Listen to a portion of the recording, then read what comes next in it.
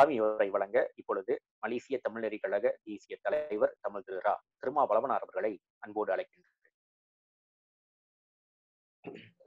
செந்தமிழே உயிரே நருந்தேனே செயலினை மூச்சினை உனக்களித்தேனே நைந்தாயினில் நைந்து போகும் என் வாழ்வு நன்னிலை உனக்கெனில் எனக்கும் தானே.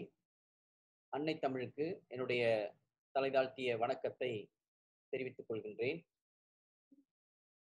பெருந்தகமை சான்ற மலேசிய தமிழறி கழகத்தின் தேசிய துணைத்தலைவர் அண்ணன் இளம்பாரி அவர்களே மலேசிய தமிழறி கழகத்தின் தேசிய உதவி தலைவர்களா தலைவர்களாக வீட்டிருக்கின்ற ஐயா மன்னர் அவர்களே அன்பு இளவல் செல்வம் அவர்களே மற்றும் இயக்கத்தின் தேசிய பொறுப்பாளர்களே நடுவண் பகுதி பொறுப்பாளர்களே கிளை பொறுப்பாளர்களே தலைவர்களே செயலாளர்களே இயக்கத்தின் உறுப்பினர்களே மகளிர் பிரிவு பொறுப்பாளர்களே இளைஞர் பகுதி பொறுப்பாளர்களே உங்கள் அனைவருக்கும் என்னுடைய முத்தான முத்தமிழ் வணக்கத்தை தலைதாழ்த்தி தெரிவித்துக் கொள்கின்றேன். செயலாளர்கள் குறிப்பிட்டது போல ஒரு புதிய இயல்பு நியூ நார்மல் என்று சொல்வார்கள் ஆங்கிலத்திலே. புதிய இயல்பு அந்த புதிய இயல்பின் அடிப்படையிலே புதிய நெறிமம் அதாவது நியூ நாம் என்ற அடிப்படையிலே இன்றைய காலகட்டத்தில் இந்த கோரணி நச்சில் பெருந்தொற்றின் கரணியமாக உலகளாவிய நிலையில் நாம் மட்டுமல்லாமல் உலகளாவிய நிலையிலே இந்த ஒன்று கூடல் என்பது நேரடியாக நடக்காமல் இப்படியான நுட்பவியல் அடிப்படையிலே இயங்கலை வாயிலாகவும் ஆஹ், இன்றைய காலச்சூழலில் ஏற்படுத்தப்பட்டிருக்கின்ற இந்த இயந்துகளை பயன்படுத்தி கொண்டு நாம் நம்முடைய சந்திப்புகளை கருத்தரங்குகளை மாநாடுகளை நடத்தக்கூடிய ஒரு சூழல் ஏற்பட்டிருக்கிறது. அந்த வகையில்தான் இன்று நாம் ஏறக்குறைய ஒன்று கூடலாம் என்ற ஒரு வாய்ப்பு இருந்தாலும் கூட அதற்கு பல்வேறு அழுத்தங்கள் பல்வேறு இடர்பாடுகள் அங்கிருந்து அனைவரும் இங்கு தலைநகருக்கு வர வேண்டும். இப்படி இடம்பெயர்ந்து வரக்கூடிய ஒரு சூழல் இருக்கும். அந்த ஏற்பாடுகளுக்கு நாம் சில இடர்பாடுகளை எதிர்நோக்க வேண்டி இருந்தது எனவேதான் இன்றைய காலகட்டத்தில் அரசு சில தளர்வுகளை ஏற்படுத்தி இருந்தாலும் கூட நாம் இந்த இயங்கலை அல்லது இந்த விரிவரங்க ஜூம் அந்த ஏந்தினை பயன்படுத்தி கொண்டு இருக்கின்ற அந்த வாய்ப்பினை பயன்படுத்தி கொண்டு நம்முடைய இயக்கத்தின் பொறுப்பாளர்களை சந்தித்து இந்த மாநாட்டினை நடத்தக்கூடிய ஒரு வாய்ப்பினை நாம் பயன்படுத்தி கொண்டிருக்கிறோம். எனவே அந்த ஒரு சூழலில்தான் இன்றைய இந்த மாநாடும் நமக்கு இப்பொழுது நடைபெற்று கொண்டிருக்கிறது. அந்த வகையிலே அனைவருக்கும் மீண்டும் என்னுடைய பணிவார்ந்த வணக்கத்தை நாம் தெரி நான் தெரிவித்துக் கொள்கின்றேன். வரலாற்றில் முதன்முறையாக நம் இயக்கத்தின் மாநாடு இக்கால் இந்த விரிவரங்கத்தில் நடைபெறுகின்றது. கடந்த முதன்முறையாக கடந்த முறை நாம் நம்முடைய நடுவண் செயலவையை இதே போன்று விரிவரங்கத்தில் நாம் நடத்தினோம். அப்பொழுது அது எந்த எந்த வகையான கட்டணமும் இல்லாமல் இலவயமாகவே அந்த விரிவரங்கத்தை நாம் பயன்படுத்தினோம். ஆனால் இப்பொழுது நாம் கட்டணம் கொடுத்து இந்த விரிவரங்கத்தை வாங்கி இருக்கின்றோம் விலை கொடுத்து வாங்கி இருக்கின்றோம் ஆஹ் ஒரு திங்களுக்கு இந்த திங்கள் அடுத்த திங்கள் இதே காலம் கட்ட இதே நாள் வரை இந்த விரிவரங்கத்தை நாம் பயன்படுத்தலாம். அதாவது ஒரு- நாள் முழுக்க நாம் விரிவரங்கத்தை இருபத்தி நான்கு மணி நேரம் பயன்படுத்த முடியும். எனவே இந்த சூழலில் வேறு நம்முடைய இயக்க கிளைகள் கூட நீண்ட நேரம் பயன்படுத்த வேண்டிய ஒரு தேவை இருந்தால் என்னிடம் அறிவித்தால் நான் நம்முடைய இந்த பதிவினை பயன்படுத்தி கொண்டு அவர்களுக்கு இந்த உதவியினை இந்த துணையினை செய்யலாம். இல்லை என்றால் ஒரு நாற்பது மணித்துளிகளுக்குள் உங்களுடைய விரிவரங்கம் நிறைவு பெற்றுவிடும். இந்த வாய்ப்பை நாம் பயன்படுத்திக் கொள்ள வேண்டுமாறு நான் கேட்டுக்கொள்கிறேன் இந்த இயக்கம் நம்முடைய பணத்தை கொடுத்து ஏறக்குறைய ஒரு அறுபத்து ஐந்து வெள்ளி கொடுத்து ஒரு திங்களுக்கு நாம் வாங்கியிருக்கின்றோம். எனவே இன்றைய இந்த காலகட்டத்தின் சூழல் இத்தகு நிலையை உருவாக்கி இருக்கின்றது. கோரணி நெச்சில் எந்த மாந்தரையும் நாம் அறிந்த ஒன்றுதான். அந்த கோரணி நெச்சிகளுக்கு என்ன மொழின்னு தெரியாது. என்ன இனம்னு தெரியாது. எந்த மதம்னு தெரியாது. எந்த நாடுன்னு தெரியாது. அல்லது எந்த உயிரினம் கூட தெரியாது. எல்லா உயிரினங்களிடத்தும் அது தொற்றும். எல்லா மொழியினத்துக்கு மட்டும் தொற்றும். சீனனுக்கு தொற்றணும் மலாயகனுக்கு தொற்றக்கூடாது. அல்லது இந்த ரெண்டு பேருக்கு மட்டும் தான் தொட்டணும் தமிழனுக்கு தொற்றக்கூடாது. நாங்கெல்லாம் வீர பரம்பரை மான பரம்பரை மூத்த பரம்பரைன்றதுனால நம்ம தமிழினத்தை தொற்றாது என்றெல்லாம் நம்ம கதை பேசிக்கிட்டு இருக்க முடியாது. அல்லது சாதி வேறுபாடு கூட அந்த இடத்துல அது ஒற்றுமை அந்த கோரணி நச்சில் வந்து பார்த்திருக்கிறது. இவர் உயர்ந்த ஜாதி இவர் தாழ்ந்த ஜாதி இவர் பிற்படுத்தப்பட்டவர் முற்படுத்தப்பட்டவர் என்றெல்லாம் அந்த கோரணி நச்சலுக்கு வேறுபாடு தெரியாது. எல்லா இடத்திலும் தொற்றும். அங்க போய் நான் வீரத்தை காட்டிக்கிட்டு இருக்க முடியாது. நச்சில் என்பது வைரஸ். இதற்கு நச்சில் என்ற சொல்லாட்சியை நான் தான் வழங்கினேன். இப்பொழுது உலகம் முழுதும் இந்த நச்சில் என்ற சொல்லை பயன்படுத்த தொடங்கி இருக்கிறார்கள் எனவே வேறுபாடற்ற ஒரு நிலையில எல்லை கடந்த நிலையில் இந்த கோரணி நச்சில் பலரையும் தாக்கி இருக்கின்றது என்பதை நாம் வந்து ஆஹ் இதன் வாயிலாக உணர்ந்து கொள்ள வேண்டும். இந்த தாக்கம் இந்த கோரணி நச்சிலோட தாக்கம் வந்து எல்லை கடந்து இருக்கிறது ஆஹ் இதனால் ஏற்படவிருக்கும் அந்த உயிர் பாதிப்பின் அதாவது கரணியமாக. இதுவரை பின்பற்றாத விதிமுறைகளை அனைவரும் கட்டாயம் பின்பற்றியாக வேண்டிய நிலை. இன்று அதெல்லாம் வந்து ஒரு புதிய இயல்பாக இருக்கின்றது என்பதை நாம் அறிவோம். புதிய இயல்பில் பின்பற்ற வேண்டிய இந்த நெறிமுறைகளே புதிய நெறிமங்கள் ஆகும். இது இதுக்கு இதுக்கு முன்பதாக இல்லை நான் கை கழுவ மாட்டேன் வீட்டுக்கு போய் வெளியில போயிட்டு வந்தா கால் கழுவ மாட்டேன் கை கழுவ மாட்டேன் அப்படியேதான் இருப்பேன் என்று சொன்னால் இன்றைய புதிய இயல்பு அல்லது புதிய நெறிமம் என்று சொல்லப்படுகிற அந்த விதிமுறையில கட்டாயம் கழுவிதான் ஆகணும். ஏன் என்று சொன்னால் அதன் வாயிலாக நமக்கு இந்த நச்சில் தொற்று வருவதற்கு வாய்ப்பு இருக்கிறது. எனவே நம்மை நாம் தற்காத்து கொள்ள கூடிய ஒரு நிலையிலே ஒரு அச்சத்தின் அடிப்படையிலே நம்மை நாம் பாதுகாத்து கொள்ள வேண்டிய ஒரு தேவை கட்டாயமாக இருக்கிறது. இதனை நம்முடைய அரசு இப்பொழுது ஒரு புதிய நெறிமுமாக கட்டாயப்படுத்தப்பட்டிருக்கிறது. உங்களுக்கெல்லாம் தெரியும் வருகின்ற எட்டாவது மாதம் ஒன்றிலிருந்து நாம் விரும்புகிறோமோ விரும்பலை விரும்பவில்லையோ அரசு இப்பொழுது கட்டாயமாக்கி இருக்கிறது அந்த முகக்கவரியை நாம் பொது இடங்களில் செல்லுகின்ற பொழுது கட்டாயமாக அணிந்தே தீர வேண்டும். இல்லை என்றால் இங்கே நான் அணிய மாட்டேன் என்று நாம் வீம்பு காட்டினால் ஆயிரம் வள்ளி தண்டம் கட்டுவதற்கு நாம் அணியமாக இருக்க வேண்டும். அதை எதற்காக இதை நான் சொல்லுகிறேன் என்றால் ஒரு புதிய சூழல் புதிய நெறிமம் என்பது ஏற்கனவே அது ஒரு தேவையாக இருந்தாலும் கூட அதை வாழ்க்கையில் நாம் இயல்பாக்கி கொள்ளாத ஒரு நிலையில இன்றைக்கு அது இயல்பாக்கி இருக்கிறது பள்ளிக்கூடங்களும் சரி தள்ளி தள்ளி அமர்தல் தள்ளி நிற்றல் இவ்வாறான ஒரு நிலையை இது உருவாக்கி இருக்கிறது என்பதைத்தான் இந்த புதிய இயல்பு என்று சொல்கிறார்கள். அது புதிய நெறிமம் என்று சொல்கிறார்கள். இது ஆங்கிலத்திலே இரண்டு சொற்களை பயன்படுத்துகிறார்கள். நோமல் நோம் என்ற இரண்டு சொற்களை பயன்படுத்துகிறார் பயன்படுத்தி இருக்கிறார்கள் இதற்கேற்பத்தான் நானும் இந்த தமிழிலே புதிய இயல்பு என்றும் புதிய நெறிமம் என்றும் இந்த சொற்களை நான் வழங்கியிருக்கின்றேன். ஊடகங்களில் கூட இப்பொழுது இந்த சொற்களை பயன்படுத்த தொடங்கியிருக்கிறார்கள். இது நம்முடைய விருப்பத்திற்கு ஏற்ப நடக்கும் நிலை அன்று. சூழ்நிலையின் தாக்கம் தான் இதற்கு காரணியம். சூழ்நிலை தான் இந்த நிலையை இந்த விதிமுறையை இந்த கட்டாயத்தை உருவாக்கியிருக்கிறது. ஒரு வகையில் இயற்கையின் பாடம் என்று கூட சொல்லலாம். ஒரு பாதிப்பை இந்த நோயினால் பல்லாயிரக்கணக்கானோர் வந்து இந்த உலகளாவிய நிலையிலே இறந்திருக்கிறார்கள். அந்த உடல் ஆற்றல் தாக்கு பிடிக்க முடியாத ஒரு சூழலிலே பல்லாயிரக்கணக்கானோர் இறந்திருக்கிறார்கள். ஆனாலும் அது ஒரு மிகப்பெரிய பாதிப்பு கவலைக்குரிய ஒன்று ஏற்றுக்கொள்ள முடியாத ஒன்று என்று கூறினாலும் கூட இன்னொரு பக்கத்தில் ஒரு பாடத்தை ஒரு ஒரு படிப்பினையை இந்த கோரணி நச்சிலின் தாக்கம் ஏற்படுத்தி இருக்கிறது என்றால் அது மறுக்க முடியாத ஒன்று. இயக்கம் தோற்றுவிக்கப்பட்ட காலகட்டத்தில் இயக்க தோற்றுனர் பாவலர் ஐயா அவர்கள் வகுத்தமைத்த அந்த கொள்கைகள் மூன்று.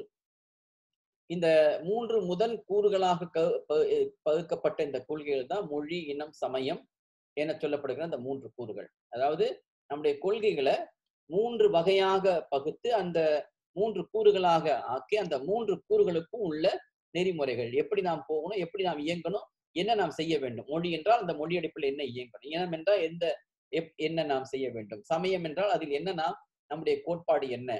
என்பதைத்தான் இந்த மொழியின கூறு சமயம் என்ற அந்த மூன்று கூறுகளின் அடிப்படையில் பாவலர் ஐயா அவர்கள் ஒட்டுமொத்தமாக ஒரு தொகுப்பாக வகுத்தார்கள். அதற்குள் உட்பிரிவுகள் உள்ளன என்பதை நாம் உணர்ந்து கொள்ள வேண்டும். இக்கொள்கைகளை வரையறுத்து இயக்கத்தை இயக்கும் வேளையில் பாவலர் ஐயா அவர்கள் ஒன்றை தெளிவாக குறிப்பிட்டார்.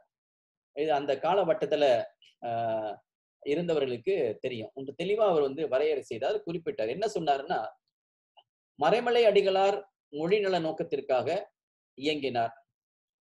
நமக்கெல்லாம் தெரியும் தனித்தமிழ் இயக்கத்தின் தந்தை என்று மறைமலடிகளாரை ஆஹ் குறிப்பிடுவார்கள். தமிழில் ஒரு அயல்ச்சொல் கூட கலக்கக்கூடாது என்று தமிழை தற்காக்க வேண்டும் என்ற அடிப்படையிலே நம்முடைய தனித்தமிழ் இயக்கத்தின் தந்தையாக ஆயிரத்தி தொள்ளாயிரத்தி பதினாறாம் ஆண்டு ஒரு ஒரு வெல்வெளியாக அந்த பரப்புரையை மேற்கொண்டு அவரும் அவருடைய மகளாரும் உலகளாவிய நிலையிலே அது கருத்தியலை பரப்பினார்கள். ஒரு அயற்சொல் கூட கலக்கக்கூடாது என்ற கொள்கைப்படி அந்த வகையிலே வந்து ஒரு மிக மிக உறுதி வாய்ந்த கொள்கைப்படியாளராக அவர் இருந்தார் இருந்தார். எந்த நிகழ்ச்சிக்கு அவர் அழைத்தாலும் அந்த அழைப்பிலே ஒரு அயற்சொல் கலந்திருந்தாலும் அது சமஸ்கிருத சொல் கலந்திருந்தாலும் சரி ஆங்கில சொல் கலந்திருந்தாலும் சரி அந்த நிகழ்ச்சி அறிக்கையை பார்த்து விட்டு அவருக்கு வந்த அந்த மடலை பார்த்து விட்டு இப்படியான ஒரு நிகழ்ச்சிக்கு நான் வரவே மாட்டேன் என்று தூக்கி எறிந்து விடுவார் போக மாட்டார். ஏனென்றால் அஹ், தமிழில் அயற்சுற்ற கலக்கக்கூடாது என்ற ஒரு ஒரு பிடித்த ஒரு பிடிப்பான கொள்கை கோட்பாட்டை மதுகையை அவர் கொண்டிருந்தார் மலர்மடிகளார் எனவே பாவலரையா அவர்கள் அந்த கோட்பாட்டை இயக்கத்திற்கு ஒரு ஒரு வழிகாட்டியாக வைத்துக் கொண்டார். நம்முடைய அஹ், தமிழ் கழகத்தை அமைப்பதற்கு முன்பதாக மருநடிகாரை முழுக்க படித்தார். அவருடைய குறை என்ன அவருடைய நிறை என்ன என்பதை முழுக்க படித்தார். அடுத்து இனம் என்ற அடிப்படையில பார்க்கின்ற பொழுது இது பாவலரையா சொன்னதைத்தான் நான் சொல்கிறேன். இது நானாக இட்டுக்கட்டியோ கற்பனை செய்தோ நான் சொல்லவில்லை. அவர் சொல்லிய அந்த செய்தி தான் நான் சொல்லுகிறேன் அடுத்து இனம் என்று வருகிற பொழுது தந்தை பெரியார் அவர்களை ஒரு முன்னோட்டமாக வைத்துக் கொண்டார். இந்த தந்தை பெரியார் அவர்கள் இனத்தின் மீது வல்லடிமை பிடியாக இந்த இன வல்லாண்மையா ஆதிக்க வல்லாண்மையாளர்களால் ஆஹ், நிகழ்த்தப்பட்டிருக்கின்ற ஒடுக்குமுறைகள் எந்தெந்த வகையில் நேர்ந்திருக்கின்றன நேர்ந்திருக்கின்றன மதம் என்ற அடிப்படையிலும் சாதி என்ற அடிப்படையிலும் இந்த இனத்தை ஒடுக்கிய இந்த வல்லடிமை பிடியிலிருந்து இனத்தை மீட்டுவிக்க மீட்டெடுக்க வேண்டும் என்ற வகையிலே ஆஹ், பெரியார் அவர்கள் மிக கடுமையாகவே போராடினார். கடுமையான போராட்டம் என்று சொன்னால் ஆஹ், ஒரு அந்த அந்த ஆளுமை மிகப்பெரிய ஆற்றல் வாய்ந்தது. மிகப்பெரிய ஆற்றல் வாய்ந்த அந்த ஆளுமையை எதிர்த்து போராட வேண்டும் என்றால் இவரும் அந்த அந்த வல்லமையை பெற வேண்டும். எனவே அந்த வல்லமையை பெ- பெ- பெறுகின்ற பொழுது ஒரு காட்டை அழிக்கின்ற ஆஹ், முனைப்பில் தான் ஒட்டுமொத்த காட்டை அழிக்கின்ற முனைப்பில் தான் பெரியார் அவர் இயங்கினார். அப்படி காட்டை அழிக்கின்ற அந்த முனைப்பில் பெரியார் அவர்கள் இயங்குகிற பொழுது அங்கே நல்ல நல்ல மூலிகைகள் கூட இருக்கும். அது கூட அடிபட்டு போகும். அது வந்து அதுவும் அந்த இடத்துல வந்து அடி அழிக்கின்ற பொழுது அடிபட்டு போகும். எனவே இப்படியான நிலையில் பெரியாரை பார்த்து இனம் சார்ந்த நிலையிலே அவர் இனத்தை இந்த ஆரிய பார்ப்பினேய அடிமை பிடியிலிருந்து மீட்டெடுக்க வேண்டும் என்ற நிலையிலே அவர் உழைத்தார். எனவே இனத்திற்கு அதை நான் இன மீட்புக்கு அதை நான் ஒரு வழிகாட்டியாக கொள்கிறேன் என்று சொல்லி அதையும் இந்த ஒரு அந்த தொகுப்பு செய்கின்ற பொழுது கொள்கை வகுக்கின்ற பொழுது அதை ஒரு முன்னோட்டமாக வைத்துக் கொண்டார். அடுத்து சமயம் அல்லது மீமிசை என்று வருகின்ற பொழுது அவர் வகுத்தது என்னவென்றால் யாரை அடையாளமாக எடுத்துக்கொண்டார் என்றால் குறிப்பாக வள்ளலார் அவர்களே அவர் அடையாளமாக எடுத்துக்கொண்டார் சித்தர் பெருமக்கள் பலர் இருந்தாலும் கூட ஒரு புரட்சி துறவி என்று சொல்லப்பட்ட ஒரு பெருமகன் வள்ளலார். எனவே வள்ளலாரை ஒரு அடையாளமாக எடுத்துக்கொண்டார் வள்ளலார் தான் என்ன செய்தார் என்றால் நேரடியாகவே இந்த பார்ப்பனேய சமயத்தின் மீது இறையின் மீது மீமிசையின் மீது அஹ், நிகழ்த்தப்பட்ட அல்லது திரிவுபடுத்தப்பட்டிருக்கின்ற அந்த வன்கொடுமையை கடுமையாகவே எதிர்த்து இந்த இனத்திற்கு ஒரு விழிப்புணர்ச்சி ஏற்படுத்த வேண்டும் அதிலிருந்து அவர்களை மீட்டெடுக்க வேண்டும் என்று சொல்லி ஒரு தெளிவை அவர் ஏற்படுத்தினார். அதனால்தான் அதன் நிமித்தமாகத்தான் அவர் எழுதிய நூல் தான் வள்ளலார் கண்ட தமிழர் சமயம் என்ற ஒரு நூல் அனைவரும் நீங்க தெரிந்தது. அந்த வள்ளார்கள் தமிழ் சமயம் என்ற ஒரு நூல் எழுதினா நம்ம வெளியீடு செய்த அந்த நூலை. பிறகு படிப்படியாக திருமூலர் என்கிற பெருமகனாருடைய சிந்தனையை அடிக்கடி அவர் கூறுவார். திருமலருடைய அந்த கருத்தியலை அடிக்கடி எல்லா இடத்தும் அவர் கூறுவதை அந்த காலத்தில் இப்போ உள்ள இளைய தலைமுறைக்கு அது தெரியாமல் இருந்திருக்கலாம் தெரியாமல் இருக்க அஹ் தெரிந்திருக்கலாம் இருக்கும். ஏன்னா அவர்கள் அந்த காலத்தில் வாழவில்லை. இப்ப என் போன்றவர்களும் எனக்கு மூத்தவர்களும் அவரோடு இருந்த பழகிறவர்களுக்கு அதெல்லாம் தெரியும். பல அறிவியல் சிந்தனைகளை திருமந்திரத்திலிருந்து அவர் எடுத்து எடுத்துக்கொண்டார். அதை ஒரு மீமிசை நெறியாக ஒரு இறையியல் சிந்தனையாக அவர் பரப்பினார். அப்படி எடுத்து காட்டுகிற பொழுது அவர் அடிக்கடி சொல்கிற அந்த பாடல் தான் தன்னை அறிய தனக்கு ஒரு கேடில்லை தன்னை அறியாமல் தானே கெடுகின்றான் தன்னை அறியும் அறிவை அறிந்த பின் தன்னை அர்ச்சிக்க தான் இருப்பானே என்பது. இந்த இந்த கருத்தியல் என்பது அடிக்கடி அஹ், பாவலரையா சொல்கிற ஒரு மெய்யியல் கோட்பாடு. அவரோடு ஆல்பர்ட் ஐன்ஸ்டீன் அறிவியல் மேதையாக அணுவியல் தந்தையாக இயற்பியல் அறிஞராக வீட்டிலிருந்த ஆல்பர்ட் ஐன்ஸ்டீன் அவர்களை ஒப்பீடு காட்டி அடிக்கடி அது பேசுவார். எனவே அறிவியலோடு இயந்த தமிழர் கண்ட அந்த மீமிசை நிதியை வள்ளலார் அவர்களையும் சித்தர் பெருமக்களையும் திருமூலர் போன்ற பெருமகனையும் ஒரு வழிகாட்டியாக கொள்வார். திருமூலர் போன்றவரை அவர் பார்ப்பதற்கான இன்னொரு குறி காரணம் அறிஞர் அண்ணா. ஏன்னா அறிஞர் அண்ணா தான் என்ன செய்தார்னா ஆஹ் அவருடைய திருமூலருடைய வரிகளை அடிக்கடி பயன்படுத்தி அதை ஒரு முதன்மைப்படுத்தி திருமூலரை பெரும்போது சமயவாளர்கள் கொண்டு சேர்த்தார்களோ இல்லையோ ஆனால் மக்களிடத்தை கொண்டு போய் சேர்த்த ஒரு பெருமை அறிஞர் அண்ணாவுக்கும் உண்டு. அது மிகப்பெரிய பங்களிப்பு அறிஞர் அண்ணாவுக்கும் உண்டு. அதாவது இறைமறுப்பு சிந்தனையை பேசிக் கொண்டிருந்த சொல்லப்பட்டு கொண்டிருந்த காலகட்டத்தில் திருமலருடைய திருமந்தத்திலிருந்து ஒன்றே குலம் ஒருவனே தேவன் என்ற கோட்பாட்டை எடுத்து வெளிப்படுத்தியவர் அறிஞர் அண்ணா. அந்த காலகட்டத்துல இது யார் எழுதியதுன்னு கூட தெரியாத ஒரு சூழல்ல அறிஞர் அண்ணா தான் இத வெளிப்படுத்தினார் என்றெல்லாம் சிலர் வந்து சொல்லுவார்கள். அதாவது இந்த ஒன்றே குலம் ஒருவனே தேவன் என்ற இந்த கருத்தியலை அண்ணாதான் வெளிப்படுத்தினார் என்றெல்லாம் அன்று மயங்கி பேசிய காலகட்டம் உண்டு. ஏனென்றால் ஆஹ் அவர் என்ன நினைத்தார்கள்னா அவர் தான் வந்து இத அடிக்கடி சொல்லி கொண்டிருந்த சூழல்ல திருமந்திரம் திருமூலர் சொன்னார் என்று கூட அவங்களுக்கு தெரியாது போயிட்டு. எனவே சித்தர் பெருமக்கள் வள்ளலார் அந்த ஒரு ஒரு அதில் உள்ள ஒரு சீர்மை சமய நிலையில ஒரு சீர்மை என்ற செய்த வகையில இவர்களையும் இன நிலையில ஆரிய பார்ப்பனே ஆதிக்கத்தை எதிர்த்த பெரியாரையும் மொழி நிலையில் அதே ஆரிய பார்ப்பன வல்லாண்மை நோக்கத்தில் நம் தமிழ் மொழி மீது திணிக்கப்பெற்ற சமற்கிரத வாக்கத்தை எதிர்த்த அஹ், நிலையிலும் வேறு அயற் சொற்களை அயன் மொழி திணிப்பையும் எதிர்த்த நிலையில் தனித்தமிழ் இயக்க சிந்தனை தலை தந்தையாக வைத்திருந்த ஆஹ், மறை மறைமலடிகளாரையும் முன்னோட்டமா வைத்துக்கொண்டு இவர் அத்தனை பேருமே தனித்தனியாக பார்க்கப்பட்ட கூறுகளாக இவருடைய சிந்தனைகள் இருந்தன. இவற்றை அத்தனையும் ஒருங்கிணைத்து தமிழ்நெறி கழகம் என்ற ஒரு வடிவத்தை நான் வழங்குகின்றேன் என்று அன்றைய காலகட்டத்தில் ஐயா ஆஹ், பாவலர் ஐயா தோற்றுனர் திருமாலனார் அவர்கள் அவருடைய முதல் ஆஹ், இந்த இயக்கம் தோன்றுகின்ற தோற்றுவிக்கப்படுகின்ற அந்த காலகட்டத்திலேயே அவர் அறிவித்தார். அப்படி அறிவிக்கின்ற பொழுது முதல் கட்ட நிகழ்ச்சி கூட்டம் ஒரு ஒரு நீண்ட உரை நிகழ்த்தினா அந்த கையெழுத்துப்படியாகவே எழுதி ஒரு வெள்ளைத்தாளில் அனைவருக்குமே நான் அனுப்பி வைத்தேன் அந்த காலகட்டத்தில் அப்பொழுது. அது ஆயிரத்தி தொள்ளாயிரத்தி எண்பத்தி மூன்று காலகட்டத்தில் அனைவருக்குமே நான் அனுப்பி வைத்தேன். எனவே இந்த பார்வைக்குள்ளதான் நான் வந்து நம்முடைய இயக்க கொள்கைகள் வரையறைகள்லாம் நம்ம வந்து பார்த்து கொண்டிருக்கின்றோம். நமக்கு முன்னால் வாழ்ந்த அல்லது நமக்கு முன்னால் உழைத்த இந்த இனத்திற்காக பாடுபட்ட பெருமக்கள் அவரிடையே சிற்சில குறைபாடுகள் அல்லது ம- மெலிவுகள் இருந்தாலும் கூட அந்த மெலிவுகள்லாம் பொருட்படுத்தாம இனநலனுக்காக அவங்க எந்த அளவுக்கு உழைத்தார்கள் என்ற அந்த புதுமை நோக்கோடு சிந்தித்து பார்த்து அவர்களை மதித்து அவர்களை போற்றி கொண்டு நாம் இனி அடுத்த கட்டமாக எப்படி செயல்படலாம் என்ற ஒரு வழியை அஹ், கண்டறிந்து அந்த இயக்க பொறுப்பாளருக்கு உணர்த்தி வழிநடத்தி சென்ற ஒரு மிகப்பெரிய பெருமையும் சிறப்பும் பாடல் ஐயாவை சாரும்.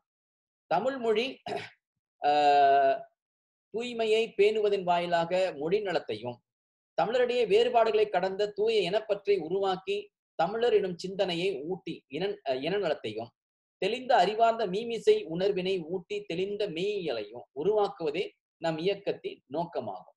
இங்கே சாதி வேறுபாட்டுக்கும் மத வேறுபாட்டுக்கும் இடமில்லை. இப்போ ஒருத்தர் கிறிஸ்தவர் என்று சொல்லிக்கொண்டு கொண்டு ஆனால் தமிழ் மொழி மீது மிகுந்த பற்றும் ஆஹ், பேரன்பும் கொண்டு ஆனால் அவருடைய நெறியால ஒரு கிறிஸ்தவராக அவர் இருந்து கொண்டு இயக்கத்துக்கு வராரா? நாம் அவரை நாம் புறக்கணிக்க முடியாது. ஏனென்றால் அவர்கிட்ட உள்ளத்துல இருப்பது வந்து தமிழ் உணர்வு தமிழ் சிந்தனை தமிழ் பற்று. தமிழ் வாழணும்னு நினைக்கிறாரு? அவர் கிறிஸ்துவ மதத்தை தழுவி இருக்கிறார். அந்த கிறிஸ்தவ மத மதம் வந்து அஹ், அவர் பிற்பாடு வந்து அவருடைய குடும்பத்தார் இணைந்ததாக இருக்கலாம்.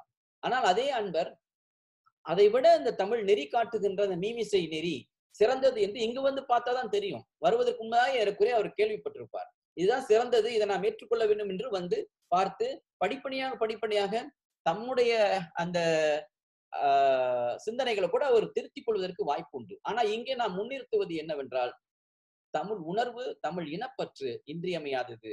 அதோடு சேர்த்து மாந்தநேய பற்று மாந்தநேய சிந்தனை என்பது இன்றியமையாத ஒன்று என்பதை நாம் உணர்தல் வேண்டும்.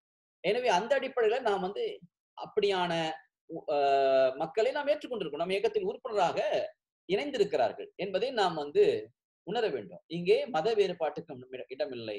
இந்த இனத்தை அன்றைய காலத்திலிருந்து இன்றைய காலம் வரை வெட்டி கூறு பிளந்து இந்த இனத்தை சீரழித்துக் கொண்டிருக்கின்ற இந்த சாதிய கொடுமைகளுக்கு இங்கு இடம் இல்லை ஏனென்றால் அது வந்து கண்டிப்பா இனத்தை பிளக்கும். மிக தெளிவாக நாம் ஒன்றை தெரிந்து கொள்ள வேண்டும். சாதியும் மதமும் இனத்தை பிளப்பன. எனவே மாந்த நேயம் தான் இங்கு இன்றியமையாது. தமிழினத்தை இணைக்கக்கூடிய ஒரே ஒரு மிகப்பெரிய உயிர்ப்பு என்று எதை கேட்டால் மொழியைத்தான் நாம் சொல்ல முடியும். மொழி வழியாக தான் இனம் ஒன்றிணைய முடியும். அவன் எந்த மதமாக இருக்கலாம். எனவே அவர்கள் ஒன்றிணைய முடியும்னா மொழியை வைத்து தான் ஒன்றிணைய முடியும். சாதியை கடந்த நான் இந்த சாதி என்று இதுக்கு முன்னால் கருதி கொண்டிருந்தவர் எல்லாம் இந்த இந்த தமிழ் என்ற தமிழர் என்ற வட்டத்துக்கு வந்து விட்ட பிறகு அந்த சாதியை தூக்கி எறிந்து விட்டு நான் தமிழன் என்று சொல்லுகின்ற சிந்தனைக்கு வருகின்ற ஒரு நிலையைத்தான் நாம் உருவாக்கணும். எனவே இதுல நாம் தெளிவா இருக்கணும். இங்க வந்து அந்த வேறுபாடெல்லாம் இங்க நாம காண முடியாது காணவும் கூடாது. இவ்வடைப்படிகள் தான் இயக்கம் செயல்பட்டது. மலேசிய தமிழறி கழகத்தின் முழக்கமாக நாம் என்ன செய்தோம் இந்த அடிப்படையில? நாம் தமிழர் நம்மரை திருக்குறள் என்னும் வரி வரியை நாடுகளும் ஒரு முழக்க வரியாக நாம் வந்து ஆஹ், பயன்படுத்தினோம். இன்று வரை நாம் வந்து பயன்படுத்தி கொண்டிருக்கோம். இதற்காக எந்த அடிப்படையில? இந்த கோட்பாட்டின் அடிப்படையில் தான். தமிழ் தமிழர் என்ற அடிப்படையில அனைவரும் ஒருங்கிணைக்க வேண்டும். அந்த அடையாளத்தை அனைவருக்குமே உணர்த்த வேண்டும். இப்ப தமிழ் தமிழன் என்ற அடையாளத்தை உணர்த்த வேணா எந்த அடையாளம்? எப்படி தமிழனை தமிழன் அடையாளம் காட்டுவது? தமிழ் இனத்தை எப்படி அடையாளம் காட்டுவது? என்று பார்க்கின்ற பொழுது இன்னைக்கு பரவலாக பலர் வேறு வகையான இந்த தமிழினத்தை பிளந்து வெட்டி பிளக்கின்ற அடையாளங்கள் எல்லாம் தமிழினத்தின் அடையாளமாக காட்டிக் கொண்டிருக்கிறார்கள்.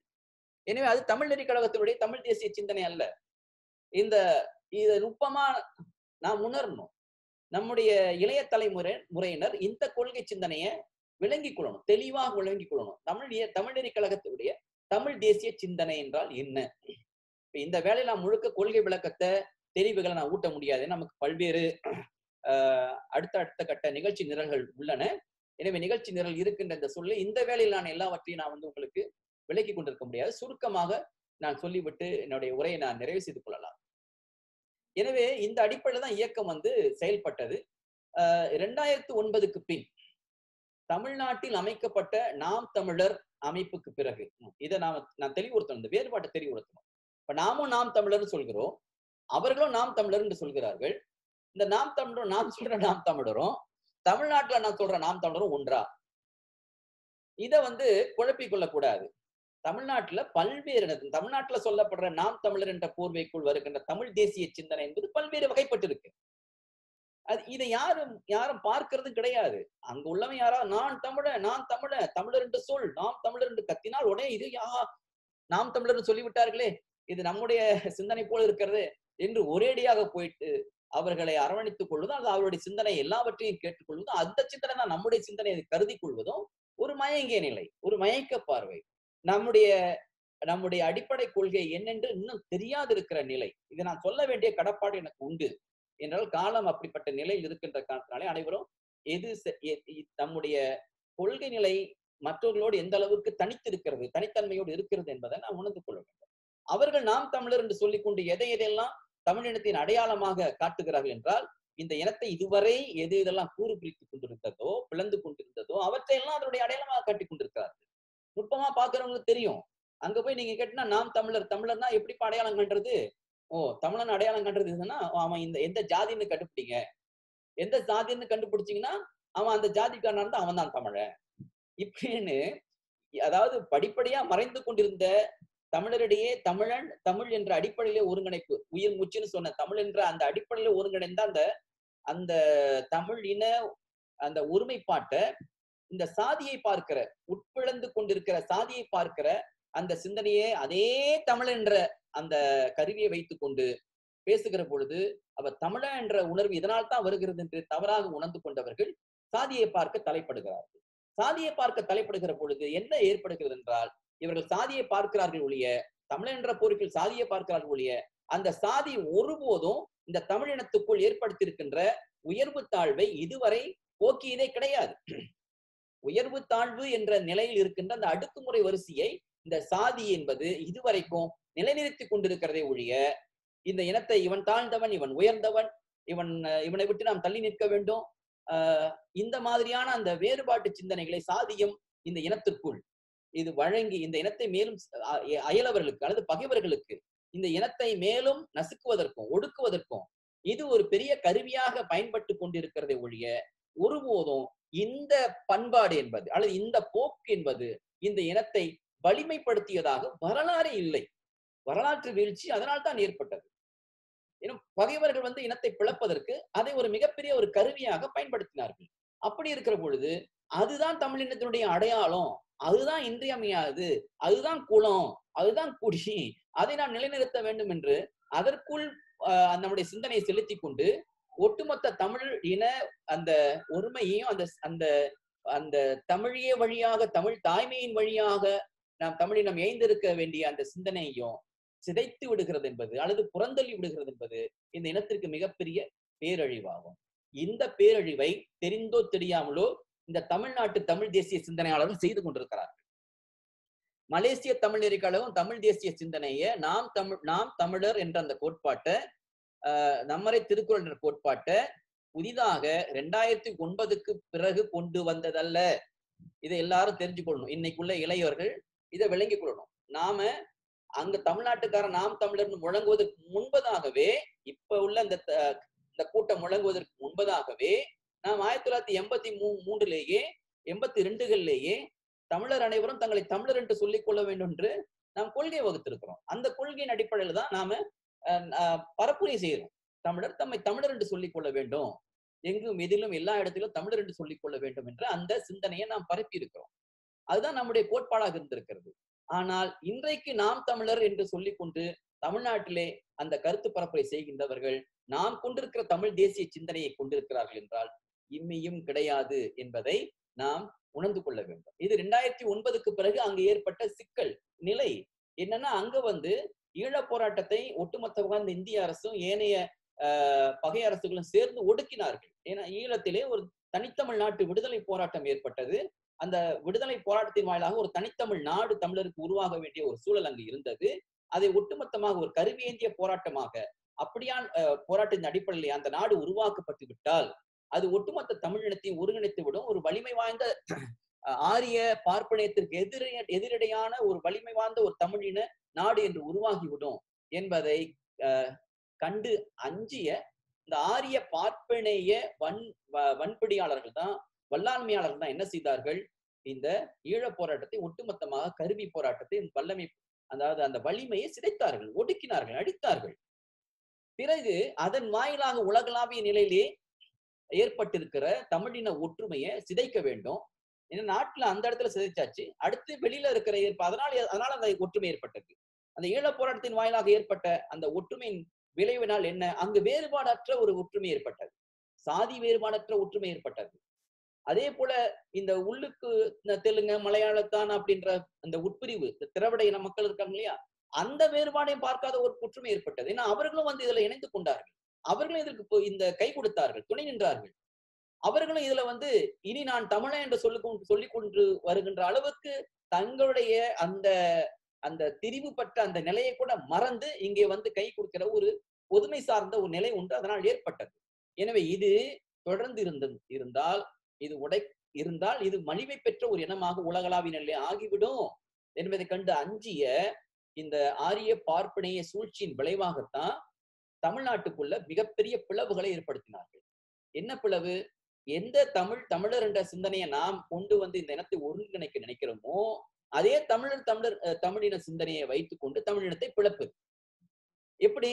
இப்ப தமிழர் என்றால் சாதியை பார்க்க வேண்டும் என்று அவன் உணர்வை ஊட்டிவிட்டால் அவன் ஜாதியை பார்க்க தொடங்குவான். அதை பார்த்தா தான் தமிழன் அடையாளம் காண முடியும் என்ற ஒரு எண்ணத்தை அவன் உள்ளத்துல ஊட்டி விடுகின்ற பொழுது என்ன செய்வான்? இப்ப சாதிய உணர்வு வளர்த்து வளர்ந்து வைக்கப்படும். இல்ல தமிழன் என்றால் அவன் கண்டிப்பாக இந்த இந்துத்துவ கொள்கையை ஏற்றுக்கொண்டு ஆக வேண்டும். இந்துத்துவ கொள்கையை ஏற்றுக்கொண்டவன் மட்டும்தான் தமிழனாக இருக்க முடியும். அப்படி ஒரு கோட்பாடு இருக்கு. இப்ப அதை பரப்பி கொண்டிருக்காங்க உங்களுக்கு எல்லாம் எந்த அளவுக்கு நீங்க அதை அறிவீர்கள் என்று நமக்கு தெரியாது. அப்படி ஒரு சிந்தனை.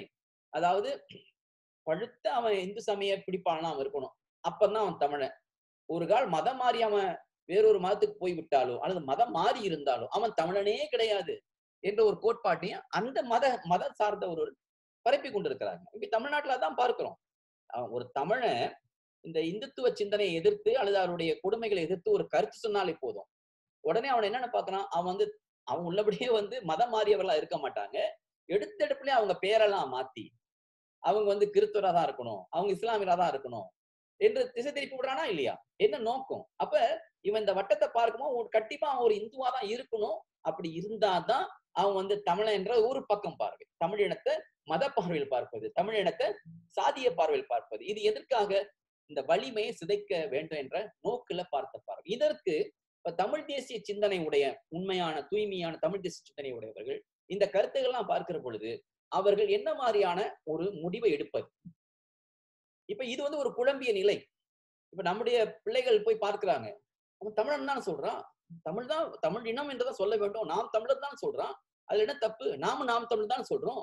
அப்ப அவன் சொல்றது சரிதானே என்று அவன் பக்கம் போகிற பொழுது என்ன நடக்கும்னா அவன் தான் ஊட்டி விடுறான பின்னால சாதிய உணர்வு. அதற்கு எதிர்ப்பா அந்த பக்கம் என்ன ஊட்டி விடுறானாக்கா இந்த இந்த இந்த ஆரிய பார்ப்பனியத்தை எதிர்த்த இந்த பெரியாரிய பகுத்தறிவு சிந்தனைய ஒட்டுமொத்தமா ஒழிக்கணும். எங்க இருந்து எங்க போறான்? ஈழப் போராட்டத்தை ரெண்டாயிரத்தி ஒன்பதற்கு பிறகு கலைஞர் கருணாநிதி அவர்கள் அவருடைய ஆட்சி காலத்துல இ- இந்திய நடுவண் அரசுக்கு அவர் துணை போய் ஈழப் போராட்டத்துக்கு அவர் வந்து கை கொடுக்க கை கொடுக்க இயலாத ஒரு சூழல்ல கை நிகழ்த்து விட்டு அவர் மேல் சுமத்தப்பட வேண்டிய பழிய அவரை நோக்கி காட்ட வேண்டிய எதிர்ப்ப எங்க போய் காட்டுறான்னா ஒட்டுமொத்த இந்த ஆரிய சி- சித்தாந்தத்தின் மீது கொள் கொன்முடிவின் மீது. எதிர்ப்பை காட்டிக் கொண்டிருக்கின்ற இந்த பகுத்தறிவு பெரியாரிய சிந்தனை மீது திசை திருப்பி விட்டு அதை வந்து தாக்கி இருக்கிற அதை அது தாக்கி கொண்டிருக்கிற வேலையை அவர்கள் செய்து கொண்டிருக்கிறார்கள். எனவே இந்த வேறுபாட்டை இந்த அடையாளத்தை இந்த ஒரு சூழ்ச்சியை நம்முடைய இளைய தலைமுறை புரிந்து கொள்ளக்கூடிய அறிவினராக இருந்து விளங்குதல் வேண்டும் ஈழப் நிமித்தமாய் உலகெங்கும் ஒன்றிணைந்திருந்த தமிழ் மக்களை ஈழப் போராட்ட ஒடுக்குமுறைக்கு பின் சிதைவுபடுத்த வேண்டிய மற்றொரு பணியை தமிழின பகை திட்டமிட்டு செய்தது. இதை நான் அன்றைக்கே அந்த காலகட்டத்திலேயே நான் பலருக்கும் நான் உணர்த்தி இருக்கின்றேன் நான் பேசியிருக்கின்றேன். இது நான் மட்டுமல்ல தமிழ்நாட்டிலேயே இந்த இந்த சூழ்ச்சி திட்டத்தை உணர்ந்த அறி அறிஞர் பெருமக்கள்லாம் அது விளக்கி இருக்கிறாங்க அது மட்டும் இல்ல ஈழ விடுதலை போராட்டத்துல மிக மிக முதன்மையான அது பங்களிப்பு வகித்த அந்த தளபதிமார்கள்லாம் கூட இதை உணர்ந்து அவங்க வெளிநாட்டுக்கு போகிற வேலையெல்லாம் இனி இதை செய்ய போகிறார்கள் அவர்கள் என்று பேசிய பேசியதை என்னென்னமே சுட்டி காட்டி பேசியதை எனக்கு நன்கு தெரியும். ஏன்னா அந்த அந்த அந்த அந்த அந்த களத்துல அந்த சூழல்ல ஏந்தி இருந்தவர்கள் என்ற முறையில அதை உணர்ந்தவன் என்ற முறையில எதை நான் அதுக்கு நன்கு உணர்வேன். ஏன்னா அப்படியானவர்களோடு நான் நன்கு பழகி இருந்தேன் ஏன்னா அதனுடைய விளைவு தான் இந்த வளச்சாரி சார்பு கொண்ட தமிழ் தேசிய சிந்தனா சிந்தனையாளர்களை உருவாக்கி அல்லது அவர்களை ஊக்கப்படுத்தி தமிழின விடிவுக்குரிய தமிழ் தேசிய கட்டமைப்பை உடைக்கும் முயற்சி. இப்ப நம்முடைய நம்முடைய இயக்கத்துக்காரங்க இதை உணர்ந்து கொள்ளணும். நாம அந்த கொள்கை தமிழ் தேசிய கொள்கையை பேசிக் கொண்டிருக்கோம். தமிழ் தமிழர் என்ற கொள்கையை பேசிக் கொண்டிருக்கோம். அப்ப தமிழ் தமிழர் என்ற கொள்கையை பேசிக் கொண்டிருக்கிற நம்ம நம்முடைய கொள்கையினுடைய உண்மையான வடிவு என்ன என்பதை தெரிந்து கொள்ளணும். இப்ப நாம் ஏன் பெரியாரை வந்து எதிர்க்கல? பெரியாரை ஏன் நாம் வந்து ஆஹ் நாம் அவர்கள் செய்வது போல இந்த திறனாய்வு என்று சொல்ற போல விமர்சனம் செய்து அவரை கொச்சைப்படுத்தி அவர் வந்து மிக மிக கேவலமாக இழிவுபடுத்தி நாம் வந்து அவர்கள் போல நாம் செய்யல. நாம தமிழ் தேசிய தமிழ் தமிழர் என்ற சிந்தனை தான் பேசி கொண்டிருக்கோம் நாம ஏன் அதை செய்யல? ஏன்னா நமக்கு தெரியும் அவருடைய அந்த அந்த எதிர்ப்பு என்பது அவருடைய போராட்டம் என்பது யாரை நோக்கி இருந்தது? முற்று முழுதாக யாரை நோக்கி இருந்தது? ஆரிய பார்ப்பனையத்தை நோக்கி இருந்தது. எனவே ஆரிய பார்ப்பனயத்தை நோக்கி அந்த போராட்டம் இருந்தது என்றால் அது யாருக்கு சார்பான ஒன்று? யாருக்கு அரணாக இருக்கக்கூடிய ஒன்று? அப்படியான ஒரு வல்லமையை நாம் எதிர்த்தோம்னா நாம் மெலிவுப்படுவோமா அல்லது வலிவுப்படுவோமா அதாவது நாம் வந்து பெரிய ஆற்றல் உடையவராக மாறுவோமா?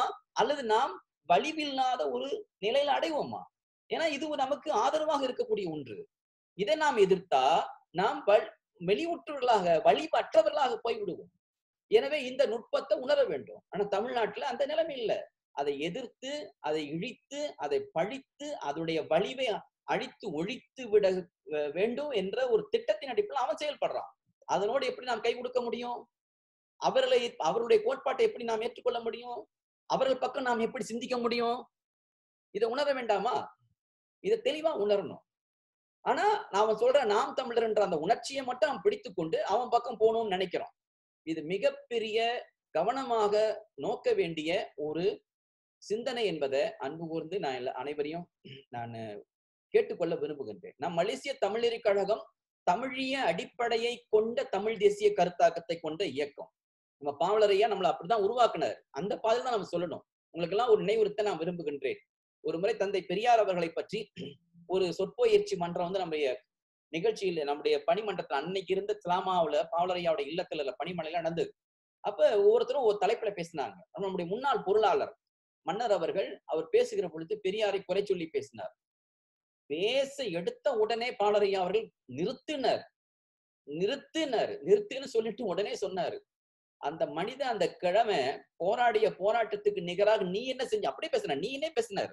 நீ வாப்புனே பேசினார். நீ என்ன செஞ்சிருக்கிற? நீ என்ன பண்ண? நீ என்ன கிழிச்சிட்டன்னு கேட்டாரு.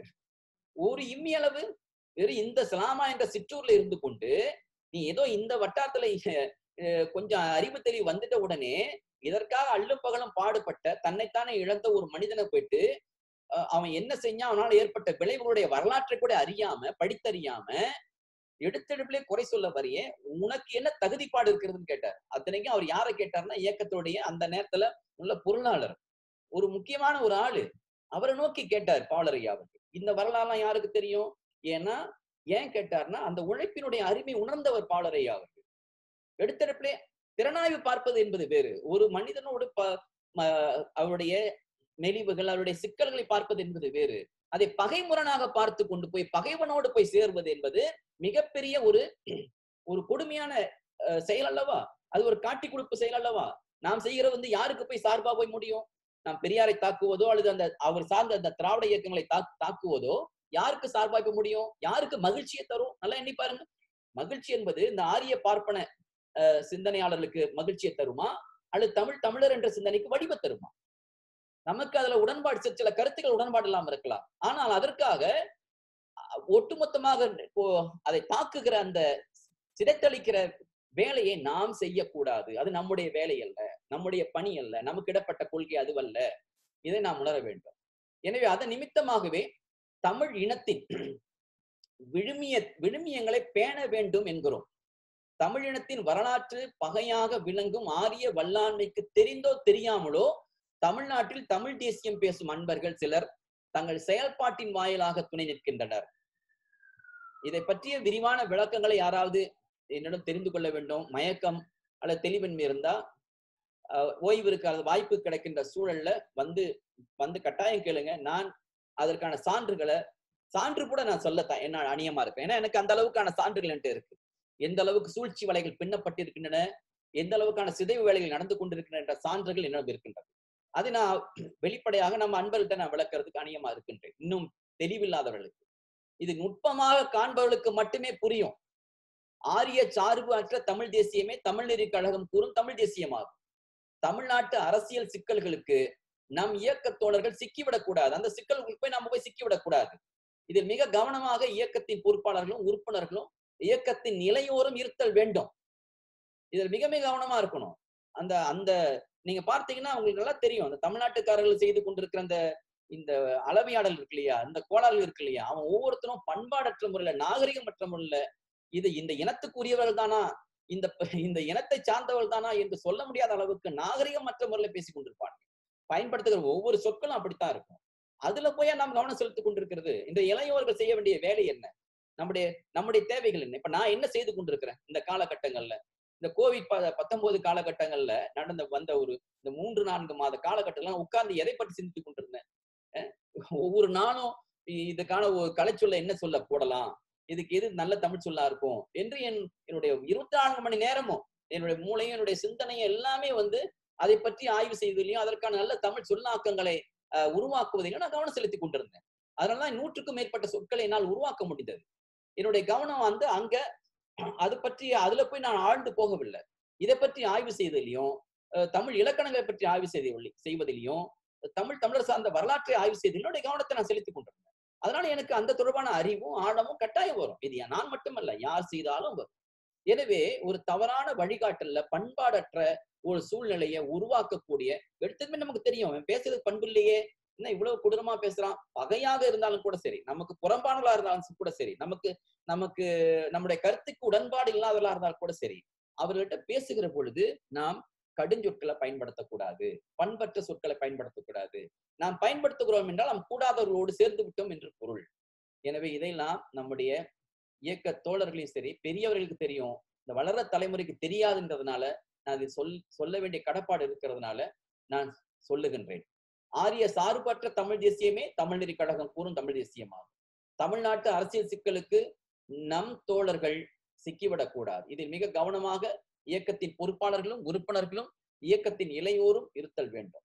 தமிழ்நாட்டில் பரப்பப்படும் மிகவும் சூழ்ச்சி மிகுந்த ஆரிய பார்ப்பன குறிப்பாக இந்த ஆர்எஸ்எஸ் என்று சொல்லப்படுகிற நச்சு கருத்தியல் தாக்கங்கள் எல்லை கடந்து நம் நாட்டிலும் தாக்கத்தை ஏற்படுத்தியுள்ளன ஏற்படுத்தி கொண்டிருக்கின்றன.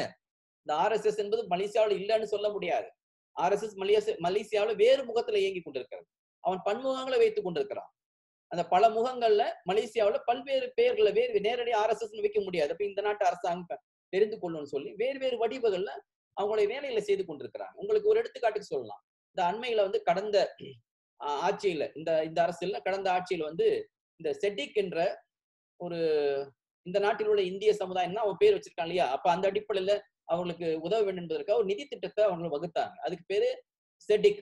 செட்டிக் என்பது சோசியல் டெவலப்மெண்ட் வரும். செட்டிக். எக்கனாமிக் டெவலப்மெண்ட் வரும் ஆங்கிலத்தை சொல்லும் போது இந்திய பொருளாதார சமூக மேம்பாட்டு என்ற அடிப்படையில அந்த செட்டிக்கை வைத்தாங்க. அப்ப புதிய ஆட்சி வந்ததுமே அந்த அந்த பொறுப்புக்கு யார அமர்த்தம் செய்தாங்கனாக்கா அஹ், வேதமூர்த்தி என்பவரை அமைச்சரா அமர்த்தம் செய்தாங்க. அவர் வந்ததுமே முதல் வேலை என்ன செய்தாரு? என்ன செய்தாரு? முதல் வேலை அவர் செய்த வேலைன்னா அந்த செட்டிக் என்ற பேரை மாத்தி மித்ரான்னு வைத்தாரு. ஏன் வைத்தாருன்னு யாருக்கு எத்தனை பேருக்கு தெரியும்? மித்ரானா என்ன? அது என்ன தமிழ் சொல்லா?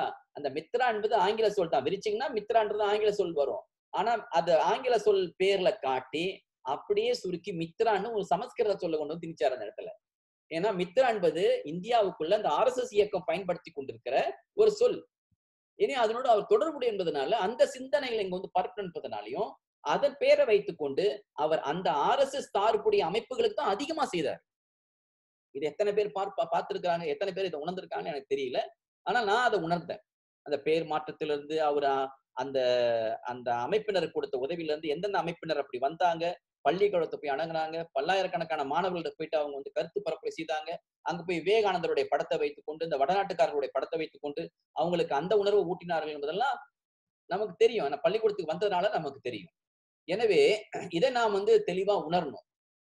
தமிழிய சிந்தனையை கொள்கையா கொண்டுள்ள நாம் நம் அடிப்படை கொள்கையை இம்மி அளவும் வழுமா வழுவாமல் பேணி புறத்தல் வேண்டும். இதன் தெளிவையும் முடிவையும் இயக்கத்தின் தலைமையிலும் கேட்டு தெரிந்து கொள்ளுதல் சிறப்பு. உங்களுக்கு யாருக்காவது ஒரு சிறிய மயக்கம் ஏற்பட்டு விட்டது என்றால் அல்லது தெளிவின்மை ஏற்பட்டிருக்கிறது என்றால் அது ஏதாவது ஒரு அஹ், இப்படி இருக்கே அப்படி இருக்கே என்று இது விளங்கலையே என்று தெரிந்தால் முதல்ல வந்து எங்கே வந்து கேட்கணும்னா இயக்கத்தை பற்றிய சார்ந்த ஒன்றாக இருந்தா இயக்கத்துக்கு தான் வந்து கேட்கணும். இது யாரு சொன்னா தெளிவா இருக்கும்னா இப்ப நான் சொன்னா தெளிவு செயலாளர் சொன்னா தெளிவா இருக்குன்னா செயலாட்ட வந்து நீங்க கேட்கணும். அல்லது நான் சொன்னா தெளிவா இருக்குன்னா என்னிடம் வந்து கேட்கணும். அதற்கு அப்பால என்னிடம் வந்து கேட்கணும். அப்ப நான் அது விளக்குனாலதான் உங்களுக்கு திரு- புரியும். அப்படி இல்லாம தாமா ஒரு முடிவு வைத்துக் கொண்டு பிறகு இயக்கத்துக்கு மாறான ஒரு போக்குகளை நாம் கொண்டு இயங்குதல் கூடாது. இதை வந்து அன்பு கூர்ந்து நீ அடுத்த கட்ட நகர்வுகள்ல மிக தெளிவாக இருக்க வேண்டுமா நான் கேட்டுக்கொண்டிருப்பேன் நாமும் தமிழ் தமிழர் என்கிறோம். தமிழ்நாட்டவரும் தமிழ் தமிழர் என்கின்றனர். இவற்றில் எது சரி என அடையாளம் காண அறிவார்ந்த நிலையிலான தமிழ் தமிழர் நல கொள்கை வரையறைகளை மட்டுமே நாம் பற்றுக்கோடாக வைத்துக் கொள்ள வேண்டும். இந்த பற்றுக்கோட்டுக்கு புறம்பானவற்றை நாம் புறந்தள்ள வேண்டும். அந்த பற்றுக்கோட்டுக்குள்ள இந்த அந்த கொள்கை அடங்குதா? இல்லையா? இப்ப நம்ம தமிழ்நாட்டு அரசியல நான் பிடிக்க முடியாது. அவன் அரசியலுக்காக அடிச்சுக்குவான் பிடிச்சிக்குவான் நாளைக்கு ஒருத்தனை இப்ப திட்டி தீர்ப்பான். அதே திட்டி தீர்த்த ஒருத்தனை போயிட்டு நாளைக்கே அவன் மாலை போட்டு காலில் விழுந்து ஐயா உன்னை போல வராதுன்னுவான். தமிழ்நாட்டு காசு அரசியல் அப்படி செய்வான். நீங்க எந்த தலைவனையும் நான் வந்து இதுல வந்து தவிர்த்து விட முடியாது. அந்த அரசியல் அப்படிதான் இருக்கிறது. அரசியல் நாளைக்கு எவனை சீ என்று பேசியதோ அவனையே வாயார புகழும். எவனை வாயார புகழ்ந்ததோ அவனையே நாயே பேயன்னு பேசும். நம்ம கண் கூட பார்த்து கொண்டு இருக்கிறோம் அந்த அரசியலை போய் நமக்கு ஒரு வழிகாட்டியா கொள்ளலாமா? அந்த அரசியலை நாம் வந்து ஒரு பெரிய ஒரு ஒரு அந்த தலைமைகளை அந்த அரசியல் தலைமைகளை நம்முடைய தலைமைகளாக நாம் காட்டலாமா? அது எவ்வளவு பெரிய ஒரு அறியாமை போக்கு. இதை நாம் உணர்ந்து கொள்ளணும். ஒரு எடுத்துக்காட்டு கூட சொல்றேன் இப்ப இன்னைக்கு தமிழ்நாட்டுல ஒரு மிகப்பெரிய அரசியல் தமிழ் தேசிய தலைவராக இருந்து கொண்டிருக்கிற ஒருவர் எப்படி இரட்டை நாக்குத்தனமா ஒருத்தர் பேசினார்? இதை நான் எடுத்துக்காட்டு புரிந்து கொள்றதுக்காக சொல்றேன். ஜெயலலிதா அம்மையார் ஆஹ் இருந்த காலகட்டத்துல அவர் இருந்த அந்த காலகட்டத்திலேயே அப்பொழுது ஒரு மாணவர் போராட்டம் ஏதோ ஒரு போராட்டம் எழுந்து பேருந்தை எழுச்சி கொளுத்திட்டாங்க கொளுத்திட்டானுங்க. அதுல மூன்று மாணவர்கள் என்னுடைய உரை கேக்குதுன்னு நினைக்கிறேன் தெளிவா இருக்கு கேக்குதுன்னு நினைக்கிறேன். மூன்று மாணவர்கள் அந்த தீ கொளுத்த பெற்று இறந்து போனாங்க. மூன்று மாணவர்கள் இறந்து போனாங்க. அப்பொழுது அந்த அரசியல் தலைவர் மேடையில பேசுறாரு இந்த இந்த கட்சிக்காரர்கள் இவரை இவர்களை கொளுத்தி விட்டார்கள் இவ்வளவு பெரிய கொடுமை செய்து விட்டார்கள் இவருடைய அழு என்று அவர்கள் மிக கடுமையாக தாக்கி அவர் பேசி கொண்டிருந்தார் அப்படி பேசின அதே வாய் தான் பிறகு இவங்களுடைய பக்கம் சார்ந்து அஹ் இந்த அம்மையாருக்கு சார்ந்து அதே அவர்கள் போட்ட மேடையில வந்து பேசுறாரு. அது அவர்கள் அது செய்யல. அது அவர்கள் வந்து தெரியாம அந்த நேரத்துல வந்து அவங்க இருந்தாங்க தெரியாம போயிட்டு அவங்க வந்து ஆஹ் எரிச்சுக்கிட்டாங்க. அது அவங்க அதை செய்யல. அதே வாய் ஒரே வாய். இதெல்லாம் ஒப்பிட்டு பார்க்கணும்னு சொல்றேன். எனவே அவர்களை நாம் நம்முடைய வழிகாட்டிகளாக கொள்ளக்கூடாது. நேற்று ஒரு வாய் இன்று ஒரு வாய். திரைப்படத்தை சொல்வது போல ஆஹ் ஏன்னா அது ந- நாரவாயி இது நல்ல வாயின்னு சொன்னது போல இந்த மாதிரி தமிழ்நாட்டு அரசியல் தலைவர்கள் புத்தலாட்டங்களை பித்தலாட்டங்களை கொண்டவர்களை நாம் ஒரு வழிகாட்டியாக கொள்ள வேண்டாம். உணர்ச்சி பூங்க கத்துகிறவர்களை வழிகாட்டியாக கொள்ள வேண்டாம். அறிவார்ந்தவர்களை இன்டலெக்சுவல் ஸ்பீச்னு சொல்லுவாங்க. இன்டலெக்சுவல் அறிவார்ந்தவர்களை வழிகாட்டியாக கொள்ளணும். அறிவுகளை நாம் தேடணும். இப்ப நம்முடைய புராணத்துல அண்மையில ஒரு தியாகு என்பவர்கள் பேசிய ஒரு ஒரு ஐந்து மணி நேரம் ஒரு காணொளி நான் பதிவு செய்தேன். அந்த ஐந்து மணி நேர காணொளி ஒரு வகுப்பு. எதை பற்றிய வகுப்புனா மார்க்சியம்னா என்ன? மார்க்சியம்னா என்ன என்பதை பற்றிய படிப்படி படிப்படிப்படியான வகுப்பு. இதை நூல் எடுத்து நீங்க படிக்க வேண்டும். இது வந்து அவங்களுடைய அரசியல் அதாவது அந்த நாட்டு அரசியல் கிடையாது. உலகளாவிய நிலையில ஒரு கோட்பாடு. அந்த கோட்பாடை நீங்க அறியணும். தெரிஞ்சுக்கணும். அப்படின்னா என்னன்னு தெரிஞ்சுக்கணும். நூல் எடுத்து நீங்க படிக்க வேண்டும். நூல் எடுத்து படிப்பதற்கு விளங்கிக் கொள்வதற்கு போதுமான அந்த ஆற்றலும் அந்த அந்த திறமும் நமக்கு இல்லாம இருக்கலாம். ஆனா அவர் அவ்வளவு எளிமையா அவ்வளவு அழகா ஒண்ணு ஒண்ணா ஒண்ணு ஒண்ணா ஆனா ஆவனான்னு சொல்லி சொல்லிட்டு போனார். இப்ப இது போன்ற அறிவு சிந்தனைகளை கேட்கணும். அதை இந்த இன்டலெக்சுவல் ஸ்பீச்னு சொல்றேன்.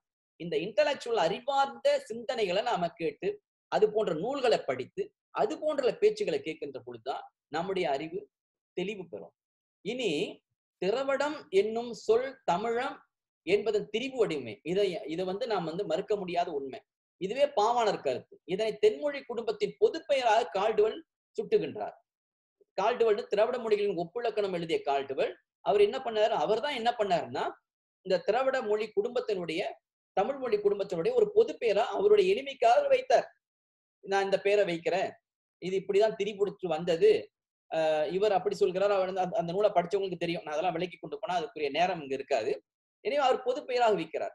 அதன் பிறகு நீங்க பார்த்தீங்கன்னா ஆஹ் ஆரிய பார்ப்பன கொன்முடிவுகளை எதிர்க்கும் போராட்டம் வழிபடுந்த வலுவடைந்த நிலையில். ஏன்னா அந்த போராட்டம் பின்னால்தான் மிக கடுமையாக ஒரு அரசியல் ரீதியான போராட்டமா தம் இந்தியாவுக்குள்ள வலுபடைகிறது. அது உலகளாவிலும் வலுவடைகிறது இப்ப இந்தியாவில் ஏற்படுற தாக்கம் இங்கேயும் நமக்கும் ஏற்படுகிறது. ஆயிரத்தி தொள்ளாயிரத்தி இருபத்தி ஒன்றுல சிந்துவெளி நாகரிகம் கண்டெடுக்கப்பட்டது. சிந்துவெளி நாகரத்தை கண்டெடுப்பத ஜான் மார்ஷல் அவர்கள். அந்த சிந்துவெளி நாகரிகத்துடைய எந்த நாகரிகத்திற்கு உரியது அப்படின்னு சொல்லுகிற பொழுது ஜான் மாஸ்டரும் சரி ஈராசு பாதிரியார் போன்றவங்களும் சரி அவங்க என்ன அறிவித்தாங்கன்னா இது திராவிட நாகரிகம் என்று சொன்னாங்க. இது ஆயிரத்தி தொள்ளாயிரத்தி இருபத்தி ஒன்றுல. என்ன காரணம்? இப்ப திராவிட நாகரிகம்னு சொன்னா அது யாருடைய நாக நாகரிகம் அப்படின்னு? என்ன பொருள்? அது இந்த இப்ப இன்னைக்கு நாம் சொல்லிக் கொண்டிருக்கிற தெலுங்கரோ மலையாளியோ அல்லது கன்னடத்துக்காரோ இவங்களுடைய நாகரிகம் பொருள். அப்படி என்று தென்னாட்டவர் நாகரிகம் தென்னாட்டவர் நாகரிகம்னாலே தென்னாட்டவர்கள் யார் மூத்தவர்? தமிழர். எனவே தமிழர் நாகரிகம் தான் அது பொருள். அன்னைக்கு தமிழர் என்ற அந்த பெயரை அவர்கள் ஆங்கிலேயர்கள் காட்டுவல் பயன்படுத்திய காலத்திலிருந்து அவர்கள் பயன்படுத்தினாங்க ஆரியத்திற்கு எதிர்ப்பான ஒரு சொல்லாக அதை அவர்கள் பயன்படுத்தினார்கள். இது வரலாற்றுல அப்படித்தான் பதிவாகி இருக்கிறது. நீங்க என்னத்தான் கத்தனாலும் துள்ளனாலும் அது அப்படித்தான் பதிவாகிறது. அது எப்படி மாறும்? எப்பொழுது மாற்ற முடியும்? நீங்க படிப்படியான அணுகுமுறையால் தான் மாற்ற முடியும். நீ கண்ணாப்பனான எடுக்கின்ற நடவடிக்கையால் மாற்ற முடியாது. அது உணர்த்துகிற முறை இருக்கிறது. அந்த முறையால வரலாற்றுல படிப்படியா படிப்படியா இந்த சிந்தனை தெளிவுகளை நாம் ஏற்படுத்தி கொண்டு வருதல் வேண்டும். அப்பொழுது நாமே நாம் சொன்னாலும் சொல்லாவிட்டாலும் அந்த திராவிடம் என்ற சொல்லை தமிழர் என்று சொல்கிற அளவுக்கு காலம் மாறிவிடும். அதைத்தான் நாம் செய்யணும். நாம் செய்ய வேண்டிய வேலை அதுதான். இன்றைக்கு ஆஹ், அதை ஒரு ஒரு எதிர்நிலையை சொல்லாக வைத்துக்கொண்டு அது தமிழின பகை சொல்லாக வைத்துக்கொண்டு அதனோடு போராடி கொண்டிருப்பது என்பது இந்த ஆரிய ஆதிக்கத்திற்கு வலுதான் சேர்க்கும் ஒழிய ஒருபோதும் நமக்கு நன்மை சேர்க்காது என்ற இந்த கருத்தை தான் இங்க முன்வைக்க விரும்புகின்றேன். எனவே அந்த கொன்முடிவுகளை எதிர்க்கும் போராட்டம் வலுவடைந்த நிலையில் அந்த கொன்முடிவு கோட்பாடுகளை சுட்டி சுட்டும் சொல்லாகவும் இது மாறியது. இது உண்மையில் தமிழரை நோக்கி சுட்டி உரைக்கப்பட்ட சொல்லாட்சியே. தமிழரை நோக்கி ஒரு காலத்துல சுட்டி உரைக்கப்பட்டது தமிழர் என்ற சொல் திரவிடர் என்று வ- மாறுகின்ற பொழுது அவர்கள் தமிழரை பார்த்து இவர் திரவிடர் என்று அவர்களுடைய நூல்கள் எழுதி வைத்தார்கள். கிபி நான்காம் நூற்றாண்டுல குமா அதாவது சமணர் சமணர்கள் என்று நீங்க கேள்விப்பட்டிருப்பீங்க. சமணர் சம சமயம் ஒரு சமயம் வந்து இந்தியாவுல ஒரு பெரும் தாக்கத்தை ஏற்படுத்தியது. அவர்கள் அமைத்த தமிழ்நாட்டில் அமைத்த ஒரு சங்கத்துக்கு பேரு. கிபி நான்கு இது வரலாற்றை நான் சொல்கிறேன். கிபி நான்காம் நூற்றாண்டுல அவர்கள் அமைத்த அந்த சமயத்துக்கு பேரு அஹ், திரமிழர் சங்கம் என்பது. இப்ப தமிழர் என்ற சொல் திரவிடம் என்று திரிபடைவதற்கு முன்னால் இடையில ஏற்பட்ட ஒரு மாற்றம் அந்த திரமிழர் என்பது. எனவே அவர்கள் அந்த சொல்லை அவர்கள் அங்கே பயன்படுத்தி இருப்பதை இங்கு ஒரு எடுத்துக்காட்டாக நான் சொல்கிறேன். எனவே இந்த இந்த இடத்தில் திராவிடம் என்னும் பெயரை அமைத்துக் கொண்டு பகி பகுத்தறிவு சிந்தனைகளை பரப்பும் அமைப்பினர் நமக்கு பகைமுரணாக முடியாது. இப்ப இந்த இடத்துல பகைமுரண் நட்பு முரண் ரெண்டு ரெண்டு வகையான முரண்களா பார்க்கிறோம். ஒன்று நட்பு முரண் இன்னொன்று பகைமுரண் பகைமுரண் என்பது ஒட்டுமொத்தமாக இனத்தை அழிப்பது நட்பு முரண் என்பது சிற்சில வேறுபாடுகளை கொண்டிருப்பது. நட்பு ஆனால் சிற்சில வேறுபாடுகளை கொண்டிருப்பது. இதை அடையாளம் காணணும். பகைமுரண்னா என்ன? நட்பு முரண்னா என்னன்னு வேறுபாடை தெரிந்து கொள்ளணும் நாம் என்ன பண்ணிடுறோம்? நட்பு பகை பகைமுரண் ஆக்கிடுறோம் அதனால நாம் வலிமை எழுந்து போவோம். நம்முடைய நண்பன் தான் நம்முடைய கொள்கைகளை பேசுகின்றவன் தான் நம்முடைய சிந்தனை பேசுகின்றவன் தான். ஆனா சிற்சில வேறுபாடு நமக்கு அவங்களுக்கு உண்டு. இந்த வகையில அந்த வேறுபாட்டை இப்ப ஆரியரா இருந்தா இந்த அரசு இயக்கமா இருந்தா என்ன தெரியுமா செய்யும்? பெரும்பாலும் பகையா இருக்கும். ஒரு குறிப்பிட்ட சில வேறுபாடுகள் இருக்கும். அவன் என்ன பண்ணும் அவனோட ஒத்து போகிற கோட்பாடு இருக்கும். அவன் என்ன தெரியுமா பண்ணுவான்? அந்த குறிப்பிட்ட சில ஒத்து போகிற கொள்கைகளை வைத்துக் கொண்டு அவனோட அரவணைத்துக் கொள்வான். அவன் தன்மயமாக்கிக் கொள்வான். அவனோட சேர்த்துக் கொள்வான். நீயும் நானும் ஒண்ணுன்னு சொல்லுவான் ஒண்ணுன்னு சொல்லி முற்று முழுதாக அவனை நூறு விழுக்கான அவனோட ஆக்கிக் கொள்வான். இது சிறந்ததா? அல்லது வெறுமனே வேறுபாடுகளையும் குறைபாடுகளையும் முரண்பாடுகளையும் பார்த்து கொண்டு ஒட்டுமொத்தமாக ஒருத்தரை புறந்தள்ளி விடுவது சிறந்ததா? அப்ப அவன் வெற்றி பெறுவானா? நாம் வெற்றி பெறுவோமா? இதில் யார் வெற்றி பெறுவார்கள் என்பதை நாம் வந்து இந்த ஆரிய தமிழ போராட்டத்தினுடைய இந்த போராட்ட சூழல்ல இதை நாம் உன்னிப்பாக கவனிக்க வேண்டும். எனவே பகைமுரண் நட்பு முரண்ற இந்த எந்த வகையில இந்த வேறுபாட்டை நாம் அறிதல் வேண்டும்.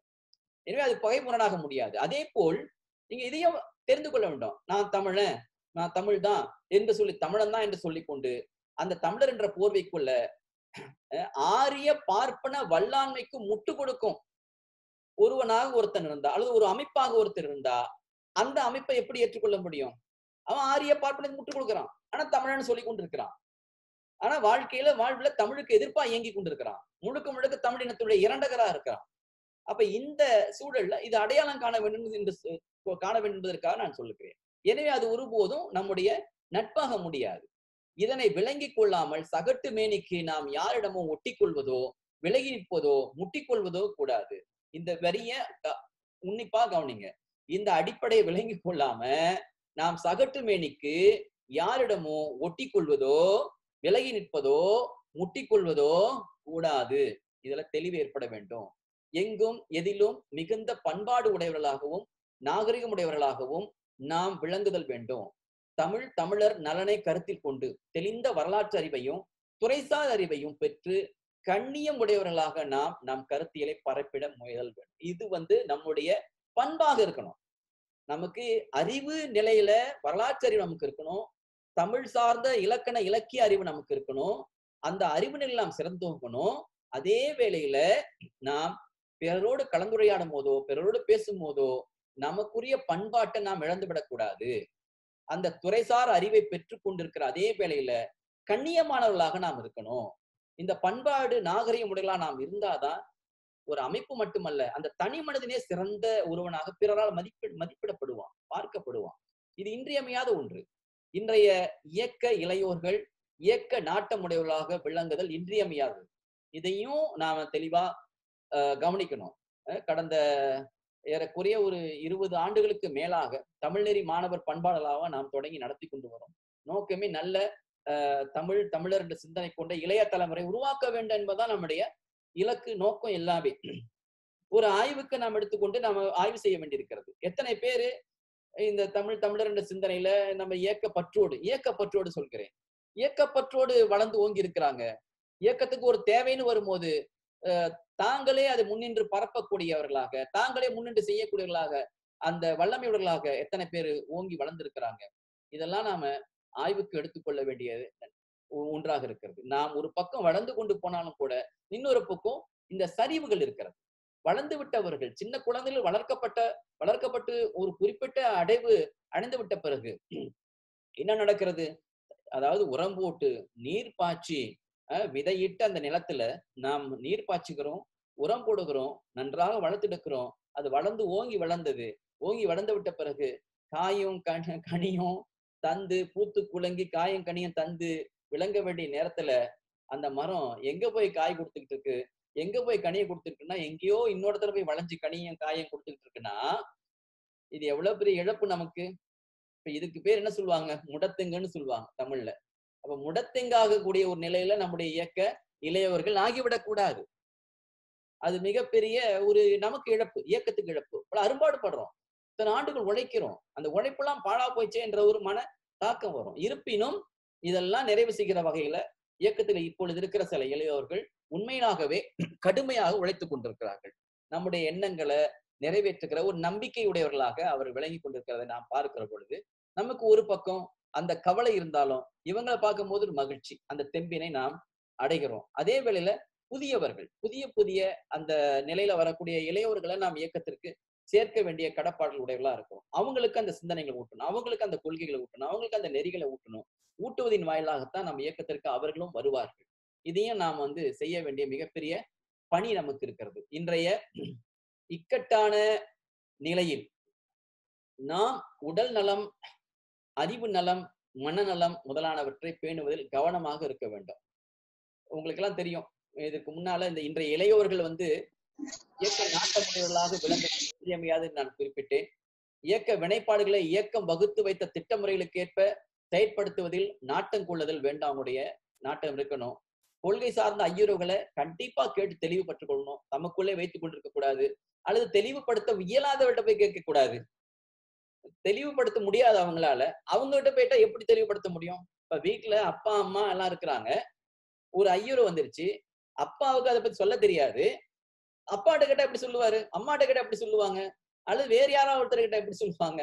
அப்ப யார்கிட்ட போய் கேட்டா இதுக்கு தெளிவு கிடைக்கும் என்பதை நீங்க உணர்ந்து கொண்டு நான் இப்ப இப்ப சொகுருக்கு போகிற பொழுது ரெண்டு மூன்று முறை நான் போகிற பொழுது அங்க இயக்க கொள்கை அந்த அதாவது விளக்க கூட்டங்களை வைத்தாங்க. அது ஒரு பயனுடைய ஒன்று. அந்த மாதிரி இயக்க கொள்கை விளக்க கூட்டங்கள் வைக்கிற பொழுது இன்றைய தலைமுறைக்கு மிக மிக தேவை. இந்த மூத்த தலைமுறை அவங்க கேட்டு கேட்டு கேட்டு அப்படியே அவங்க முத்தி போயிருக்கும். அவங்க வந்து சிந்தனையில் முற்றியவர்களாக அவங்க இருப்பாங்க. ஒரு காலத்துல நெகிரி எல்லாம் போகிற பொழுது எவ்வளவு பெரிய வேகமா இயங்கினாலும் எனக்கு தெரியும். அட்டி சகட்டுமேனு அட்டிதான் இப்ப ச சரஸ்வதி அந்த கந்தசஷ்டி கவசத்தை பேசிட்டாங்கன்னு சொல்லி இந்தியாவுல வந்து பயங்கரமான சிக்கல்லாம் ஏற்பட்டது இல்லையா? இன்னைக்கு அதே நிலையில அங்க நெகிரி சிம்லான்ல வந்து இந்த ஆரிய பார்ப்பன சித்தாந்தங்களை எதிர்த்து மிக கடுமையான தாக்குதல் நடந்தது.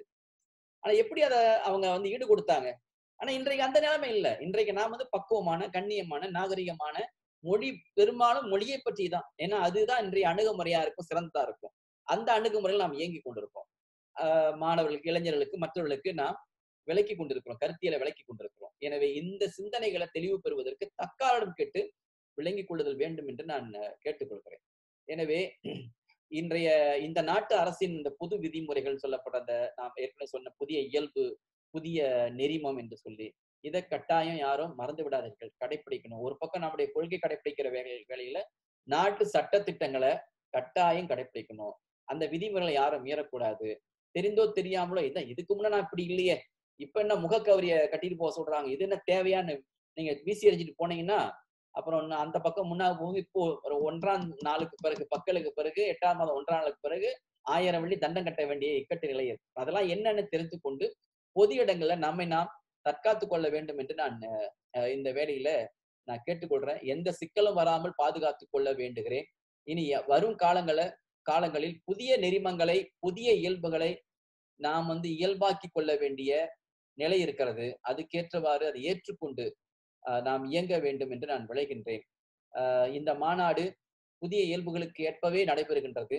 நம்மில் அனைவரும் கணினி நுட்பவியல் உலக இயக்கத்தோடு இயந்து போக வேண்டிய நிலையில் இருப்பதால் தெரியாதவர்கள் முயன்று கற்றுக்கொள்ள வேண்டும். நமக்கு தெரிகிறதோ தெரியவில்லையோ எனக்கு வயதாகிவிட்டது இனி என்ன இதெல்லாம் நான் செய்வது? இது இதெல்லாம் என்னால் முடியாது என்று சொல்லி கொண்டிருக்க முடியாது. நாம் இப்ப அண்ணன் ப பத்துமலை போன்றெல்லாம் நீங்க பாருங்க பருந்தி உழைத்து அண்ணன் இளம்பாரி அவர்களும் சரி தம் பிள்ளைகள்கிட்ட கேட்டு எனக்கு வேண்டும் நான் தெரிஞ்சுக்கணும் என்று சொல்லி இந்த இயங்கலை முறைகள்லாம் கற்றுக்கொண்டு அவங்க இப்போ நம்முடைய புலான இந்த இந்த விரிவரங்கத்துல வந்து கலந்து கொண்டிருக்கிறாங்க. இதெல்லாம் அவங்க இந்த அகவிக்கு அதுக்காக அவங்க வயசானவங்க நான் சொல்லிட்டேன்னு பொருள் இல்லை அவங்களாம் இளமையானவர்கள் தான். இன்றும் அண்ணன் பத்துமலை போல துடிப்பாக காலையில் எழுச்சி உடற்பயிற்சி. நான் சொன்ன உடனே ஒருத்தர் முகக்கவரி எடுத்து மாற்றுறாரு ஆஹ் முகத்துல மாட்டி தமிழ்ச்செல்வம் மாதிரி இருக்கு யாருன்னு தெரியல. முகக்கவரி எடுத்து தற்காப்பு செய்யறாங்க இந்த நேரத்துல தொத்தாது நினைக்கிறேன். பேருந்து ஓட்டிட்டு இருக்காரு போல இருக்கு அவரு. ஆக இந்த அகவையிலும் தம்முடைய இந்த இந்த துறையில தம்முடைய ஈடுபாட்டை காட்டி அதை திறனை வளர்த்து கொள்ள வேண்டிய ஒரு சூழல் இருக்கிறது. விரும்புகிறோமோ விரும்பலையோ. எனவே அந்த வகையில இந்த மாநாடு இந்த வலையரங்கத்தில் இயங்கலை வாயிலாக சிறந்து நடைபெறுவதற்கு நான் எவ்வளவு நேரம் பேசினேன்ற மணிக்கணக்கு கூட எனக்கு தெரியல. சிறக்க ஒத்துழைத்த அனைவருக்கும் எல்லா வகையாலும் நன்றியை கூறிக்கொண்டு தொடர்ந்து இயக்கத்தை வலுப்படுத்த அத்தனை பேரும் துணை நிற்க வேண்டுமாய் மிக பெரும் பணிவன்போடு வேண்டி பிழைந்து இயக்கத்தினுடைய பொறுப்பாளர்கள் குறிப்பாக பொதுச் செயலாளர் இயக்கத்துடைய தேசிய துணைத் தலைவர் இயக்கத்துடைய தேசிய உதவி தலைவர்கள் இயக்கத்தினுடைய ஏனைய பொறுப்பாளர்கள் அத்தனை பேருக்குமே இயக்க உறுப்பினர்கள் அத்தனை பேருக்குமே இந்த இயங்கலையில வலையரங்கத்துல கலந்து கொண்டிருக்கிற அனைவருக்குமே என்னுடைய நெஞ்சார்ந்த நன்றியினையும் வணக்கத்தையும் தெரிவித்துக் கொண்டு இந்த அளவில் விடைபெறுகின்றேன். வெல்க தமிழ் நெறி வெல்க தனித்தமிழியம். எப்பொருள் எத்தன்மை தாயினும் அப்பொருள் மெய்ப்பொருள் காண்பது அறிவு நன்றி வணக்கம்.